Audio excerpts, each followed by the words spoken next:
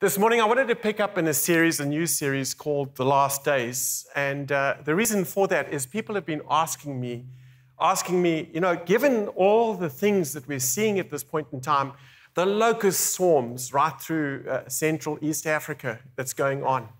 You know, people, have you noticed how quickly people get offended these days? Because the scripture says in these last days, people will get offended quickly and betray one another quickly. They'll betray one another. And then I don't know if you've noticed the increased earthquakes and the volcanoes, even in the Pacific this last week, uh, where tsunamis followed and hit Tonga. And you, you see the pandemics like COVID 19 that we've experienced in the last two years and more to come. We see the situation of war looming with uh, Russia on the border of Ukraine and wars around the world, rumors of wars, even wars that are rumors of wars. Then we see the uptick of lawlessness and, and crime. We see good being called evil and evil being called good. We see the love of God in many who follow Christ starting to wane, and their love of sin growing greater than the love of God. And as you see this, many people are asking, Kevin, is this the last days? And if this is the last days, how's it all going to go down? And what are we supposed to do? How are we supposed to prepare ourselves? What about the mark of the beast? What about the mark of the beast that'll be put on the right hand or the forehead? Who is the Antichrist? And a lot of people are spending hundreds of hours studying the Antichrist. Who is the, what is the Antichrist spirit? What does the scripture say will happen? You see, as we study last days or end times, Jesus never used the word end times, he used the word last days. It's, it's called eschatology. Uh, can you tell your neighbor eschatology? That's the study of the last days. And as we look at that, I, I wanted to just show, share with you the main scriptures people use is Mark 13. And today we're going to go through Mark 13 from verse 1 to verse 13, and next week from verse 14 to the end. And then there's Matthew 24, there's Luke 21, and then there's the book of Jude, Second Thessalonians, and Revelation. There's a lot in the scripture about end times. There's also Daniel 7. There's tons of scriptures in the Old Testament. Today, I wanted to just cover the last days and how to rest in Jesus. Later, we'll go into in the other sermons the trumpets, the seals, and the bowls. Next week's title is called The Antichrist Spirit, and the week after that is The End and the Beginning. Tell your neighbor, the end and the beginning. Not the beginning and the end, but the end and the beginning. But for today, I'm going to focus on Mark 13. So if you've got your Bibles, it's going to be heavy on scripture. I apologize, but this requires a lot of study for us to go through. So, Mark 13, verse 1 to 13, is where we're going to be, and I'm going to be bouncing around. But we start with the question Are we in the last days? Are we in the last days? Here's my answer yes, but. Tell your neighbor, yes, but. Yes, but. And there is a but, and I want to come back to the but because before I go on, let me ask you the question as a pastor. If I say, yes, it's the last days, what, what's the emotion that's evoked? What's the feeling that's evoked? Is it fear? Is it anxiety? Do you feel like dreams are crushed, hopes are smashed? What comes to your mind? How much time do I have left? So, question Do you have a feeling of uh, anxiety and fear? or do you have a feeling of expectant joy? Which one do you have? If you have a response, and I'm speaking as a pastor, if you have a response of fear, then I have to ask you, what's your focus on? You see, I say yes, but because whilst it's the last days and end times, I really don't know if end times last, the last of the last days or the end of the end, I don't know if it's in three and a half years' time or 10 years' time or 20 years' time or 50 years' time, because this is what Jesus said. His words, we need to study his words, not theologians' words, but Jesus' words. Look at Mark 13, verse 32, as I bump down there. However, no one knows the day or hour when these things will happen, not even the angels in heaven, or the Son himself. Only the Father knows. And since you don't know when that time will be, simply be on guard, be alert, stay alert, and pray.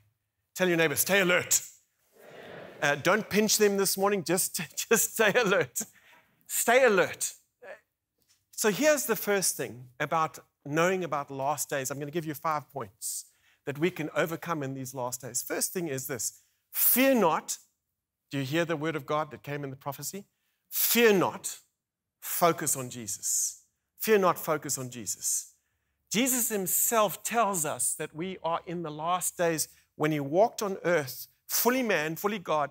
In this time, he said, as Jesus the Messiah, he said, These are the last days. Those were his words. He also said, No one knows the last days. So if anyone is telling you the end times, the end of end times is coming in three years, or coming in seven years, or coming in 10 years, they are deceived because Jesus said, No one knows. Now, the problem is many of us have been influenced by movies and books that we see. So when we think of last days and end times, maybe you, you've uh, remembered the Maya calendar, which uh, predicted that the end of the world ended on December 21st, 2012. And, and so therefore, films were made like this one. I don't know if you ever saw this film. This film here, 2012, where it's the Maya civilization depicting the flood. The problem with the scripture, with this, this picture, is God promised us that there would never be a flood like the days of Noah again. Can you say amen with me? Amen. Or this one, this series called The Day After. And so our impression of last days and end times is often apocalyptical. But the problem is, the word apocalypse actually doesn't mean destruction. Yet, if I say apocalyptical, you might think destruction, you might think crashing planes, you might think volcanoes, you might think, but you know the word apocalyptical actually means revelation. The word revelation comes from the Greek apocalypse, which means the revealing of things that are happening in the divine heavenly places, revealing what God is doing. It isn't the revealing of what Satan's doing, it's a revealing of what Jesus Christ is doing. You know, the problem with many of us is that we've got caught up with uh, focusing on dates. Like uh, this one guy, Harold Camping, he, he taught uh, in 2011 that um, May 21st, again, he said May 21st, 2011, as a Christian, he taught that uh, the world was coming to an end. And so the whole church sold their houses and gave their cars and houses away, and they moved up onto the top of a hill and hid in the wilderness. And many of them dug holes and stashed food, canned food, and they hid across there because they thought it was coming to the world, end of the world. Well, 2015 has passed. We're still here. No one knows the end times, the exact end of end times. I've learned something in the last 23 years of ministry. This life is short. Tell your neighbor, life is short. So, really, folks, life is short. I've learned that. We're all going to die at some point in time, and hopefully, those who are walking with Christ, uh, you will be walking into eternity. Life is short, eternity is real, but people matter most. So, in these end times, these last days, are we in them? Yes, we are. But remember that everything since the coming, the first coming of Jesus, where he walked fully man, fully God on earth as Jesus the Messiah, until the second coming of Jesus, Jesus himself calls these the last days. Oftentimes we call it end times. Look at Hebrews 1 for a moment. 1 verse 1. The Word of God says, God at various times and in various ways spoke in time past to the prophets, to the fathers by the prophets, has in these last days spoken to us by his Son, whom he's appointed heir of all things, through whom also he made the worlds. Look at this for a moment. He says, These last days. Can you turn to your neighbor and say, These last days? So even the author of Hebrews was calling it the last days. In Acts chapter 2, with the formation of the church, the outpouring of the Holy Spirit, Peter stands up to speak and he says, But this is what was spoken by the prophet Joel. And he quotes Joel chapter 2. He says in verse 17, And it shall come to pass in the last days. Tell your neighbor the last days. It shall come to pass in the last days, says God, that I will pour out my spirit on all flesh. Your sons and your daughters shall prophesy. Your young men shall see visions, your old men shall dream dreams. I have a question for you. Are you young or you're old? Are you getting visions or dreams? I've noticed I'm getting more dreams lately. but the emphasis here is the last days. You see, Jesus himself calls from the first coming of Jesus to the second coming, the last days. So are we in the last days? Yes. In Matthew 24, verse 8, the scripture says, But all this is only the first of the birth pains. All these last days are the first of the birth pains. I want you to think about that for a moment. Birth pains, with more to come.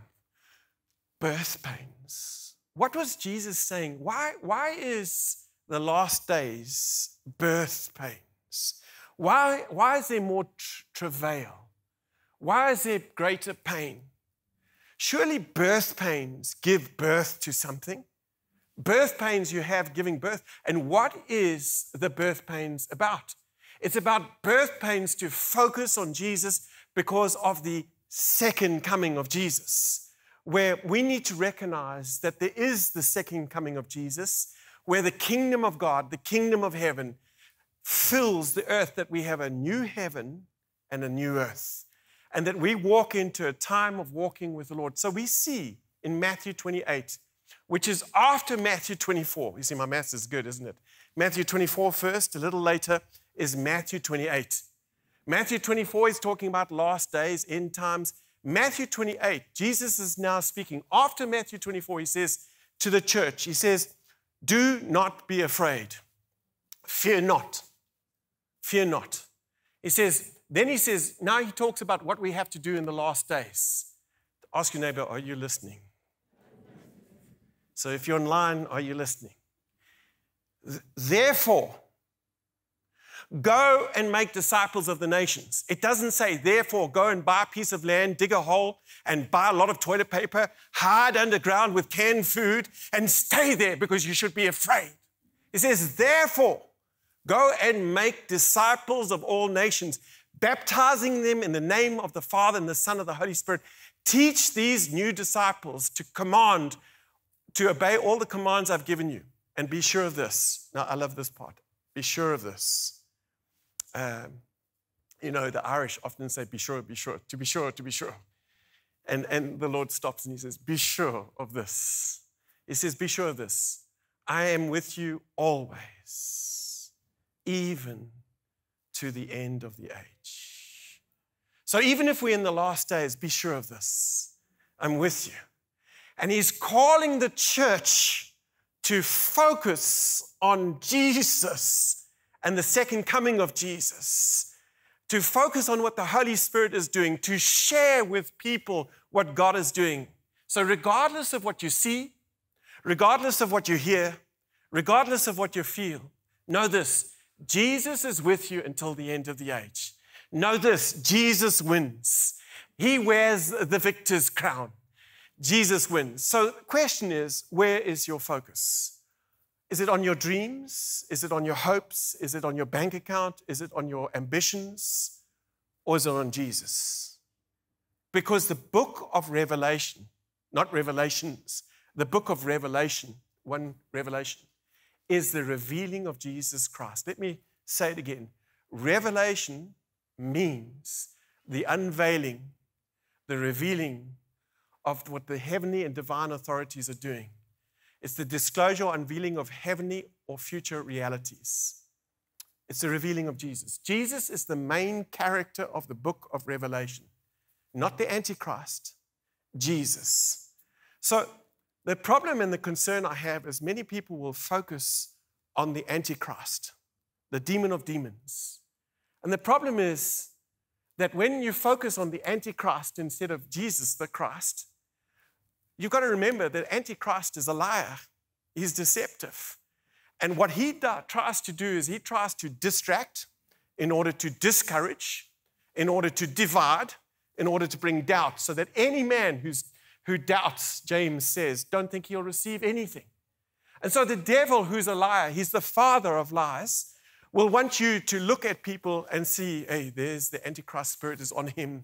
Hey, and that business over there has got the Antichrist spirit on that business. And that world leader's got the Antichrist on that world leader. And, and so what happens is the focus is on what the devil is doing rather on what Jesus the Christ is doing.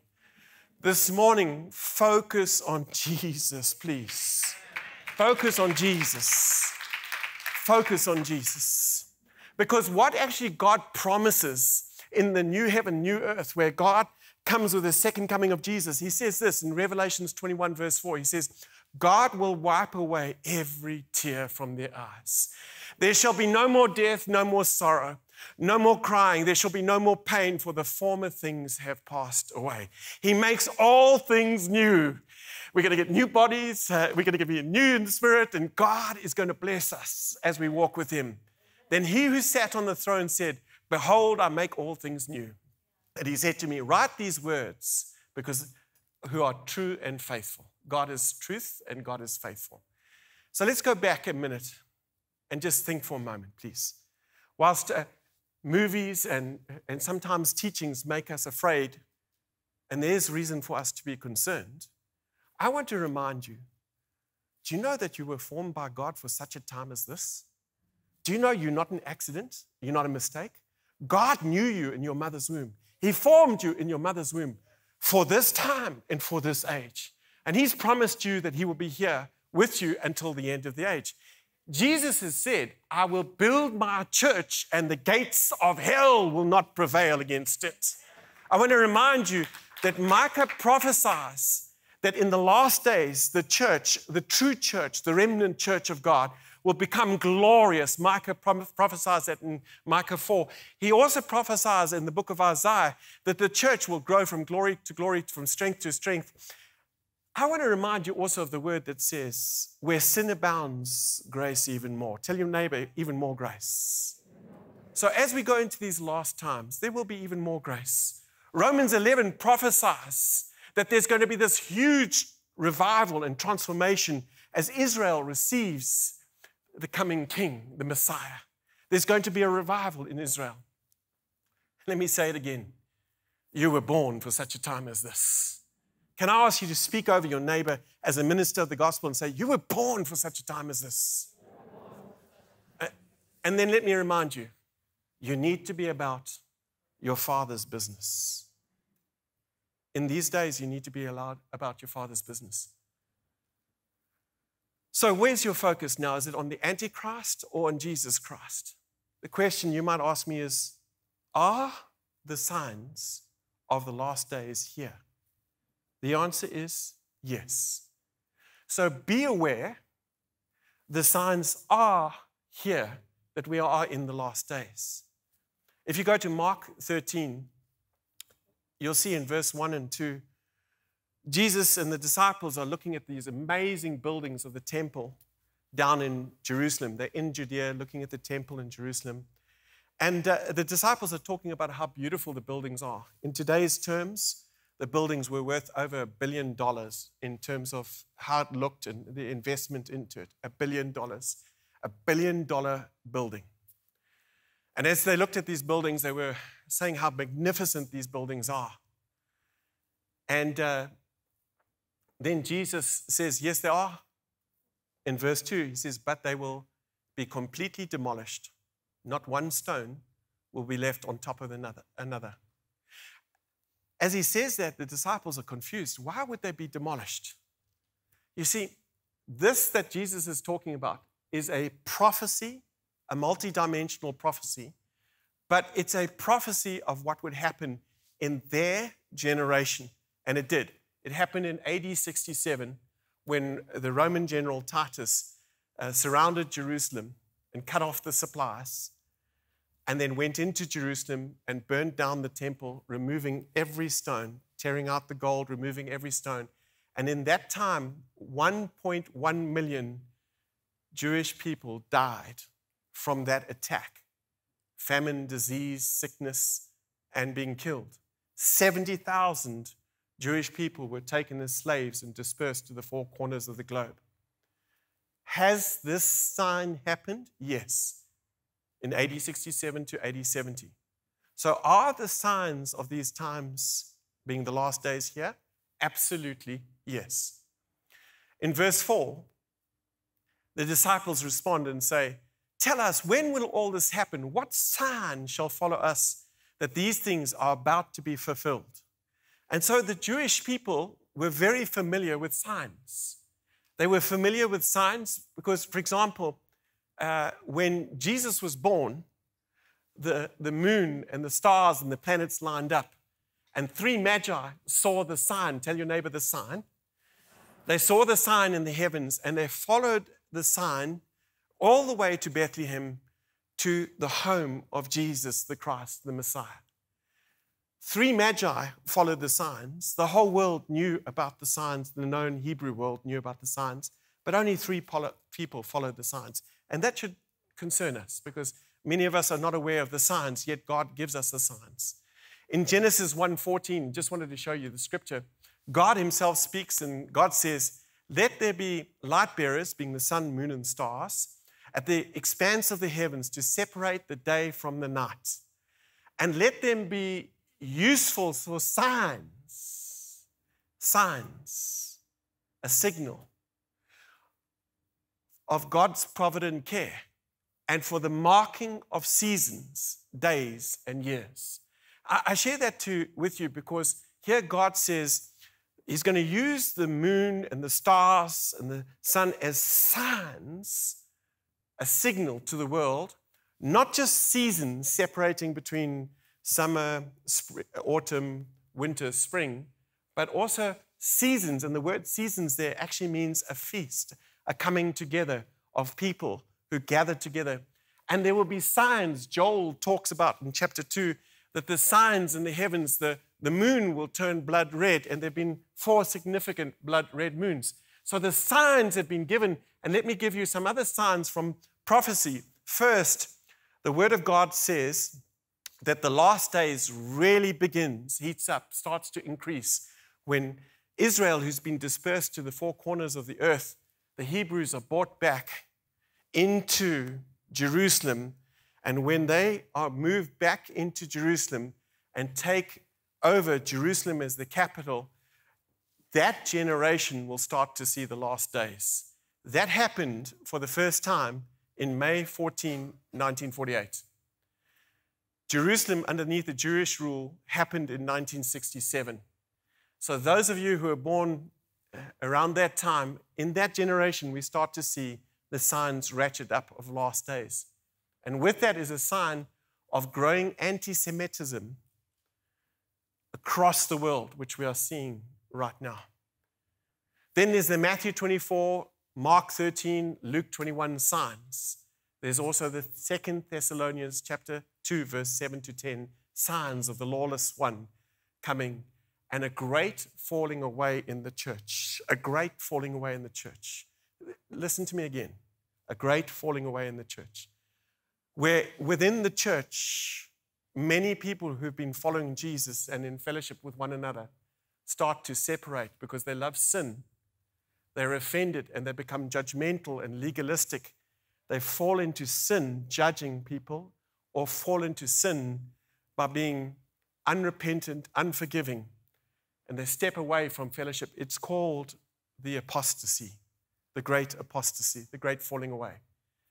But for us, first, focus on Jesus. In second, do not be deceived. In uh, Mark 13, verse 6, the scripture says, Don't let anyone mislead you, for many will come in my name. Say with me, many.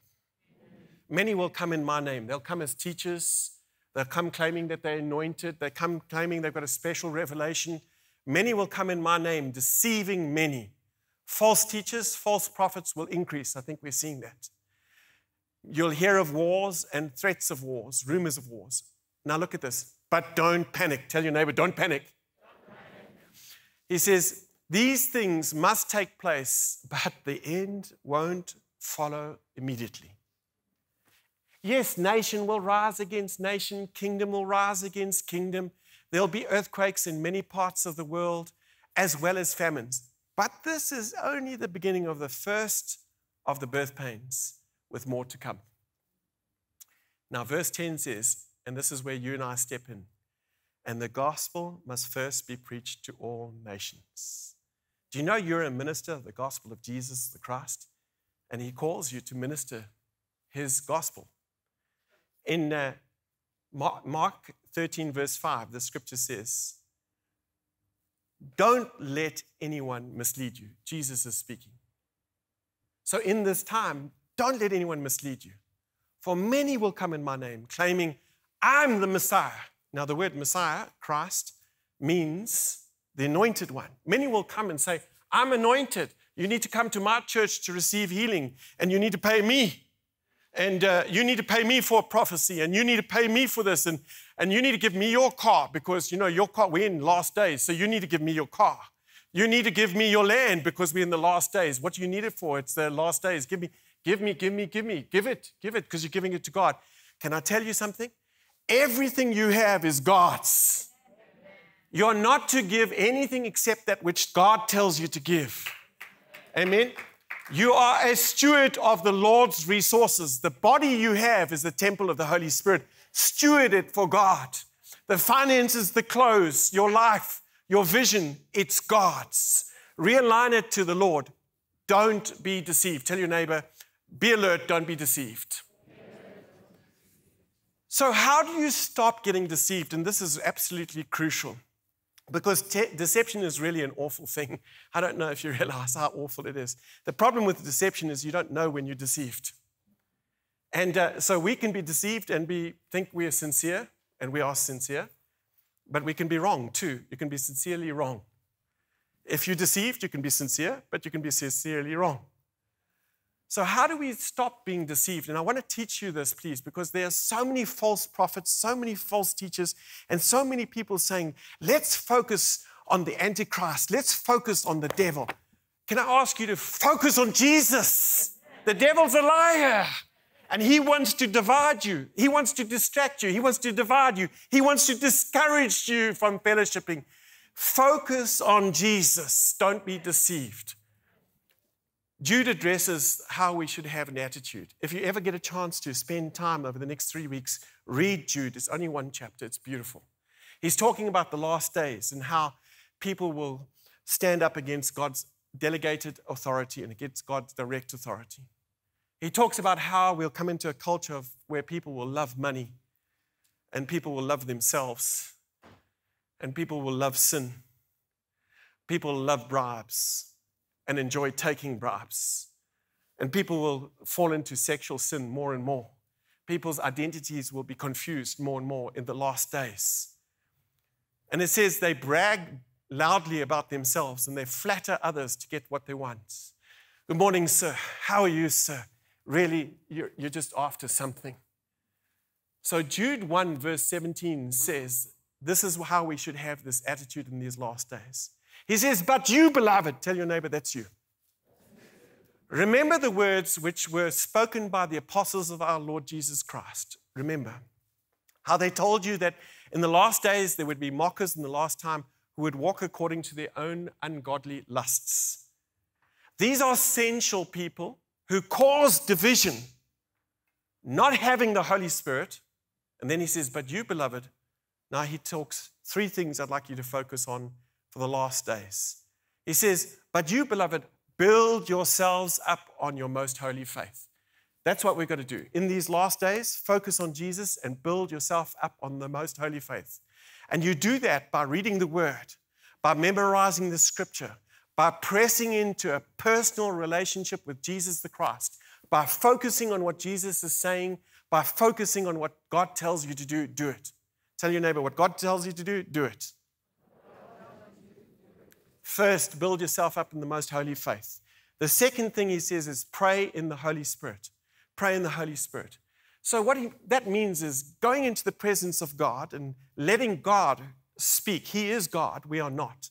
Letting Him speak and having heard Him speak, speaking what He wants you to speak. walking in the walk that He wants you to walk, coming to a place of repentance before the Lord and repentance before man, walking in humility, not pride, praying in the Holy Spirit. It also means praying in tongues, building up the Holy the Spirit inside of you, the Spirit man inside of you, by praying in tongues. The third thing he says is keep yourselves in the love of God. This is crucial. Keep yourselves in the love of God. Because many of us are not keeping ourselves in the love of God. Many of us are stepping out of the love of God and getting offended with one another, getting angry with one another, getting judgmental with one another, criticizing one another. That's not the love of God. The love of God doesn't come into a church building or into a family and look for things that are going wrong.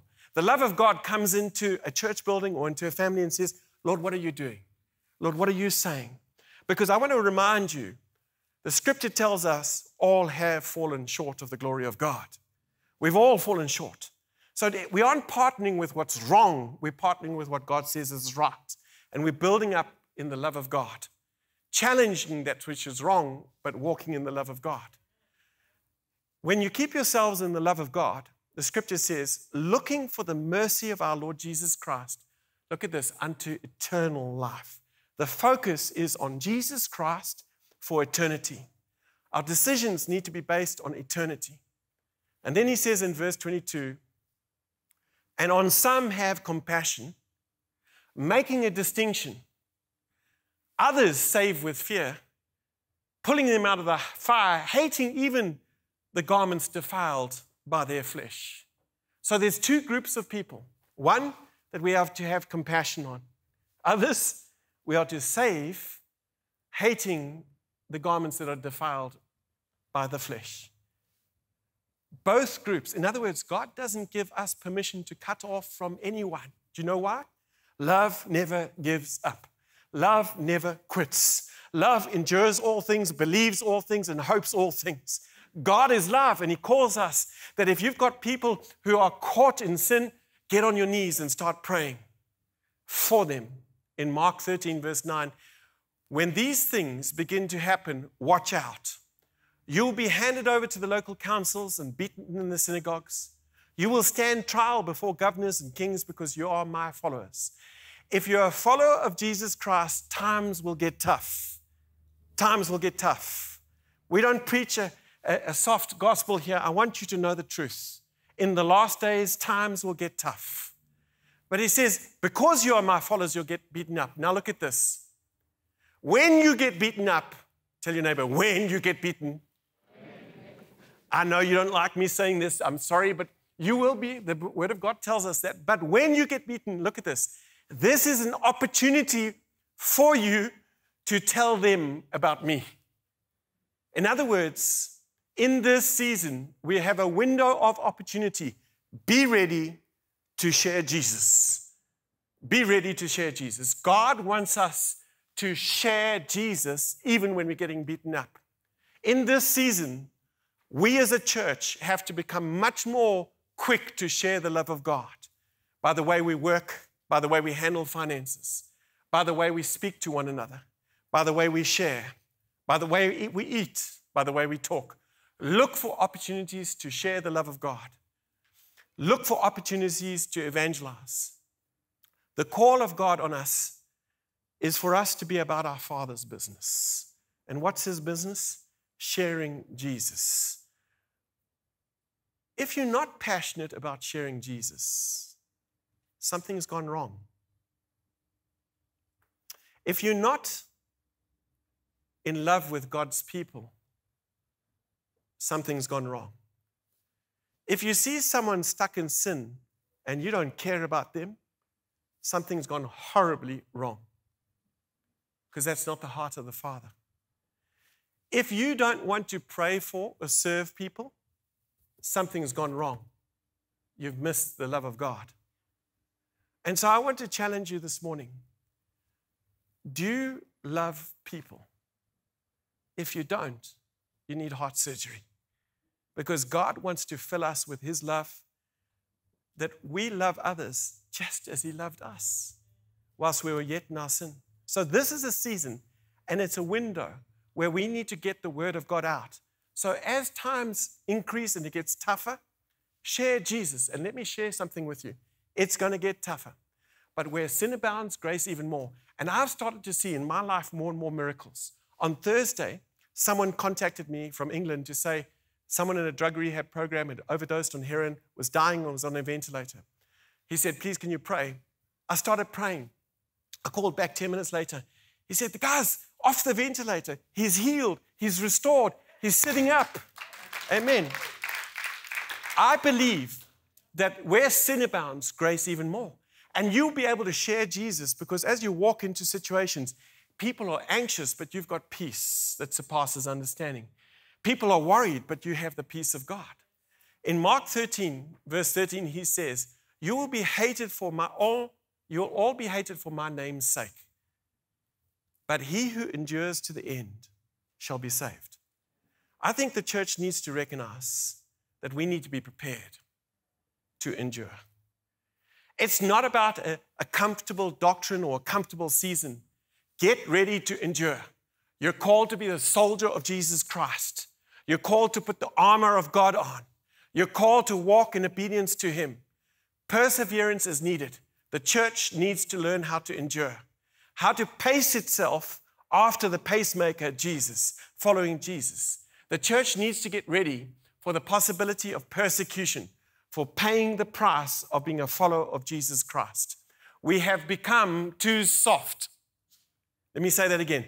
We've become too soft living for ourselves, for our bank account, for our house, for our car. It's all about me, Jesus. And God is bringing correction.